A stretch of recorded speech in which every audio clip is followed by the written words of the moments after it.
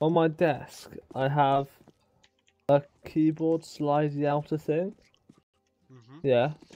And I went to move my arm, smashed my elbow on it, and on the edges, it's metal and it's quite sharp. So not only did I smash my elbow, I also fucking tore it to shreds as well.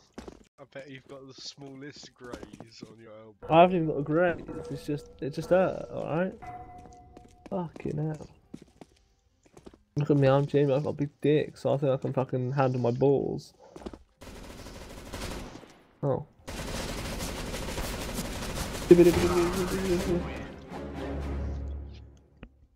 Why did you just say I've got a big dick? I don't know, it's got big balls. No, Ian, I'm gonna alt F10 it.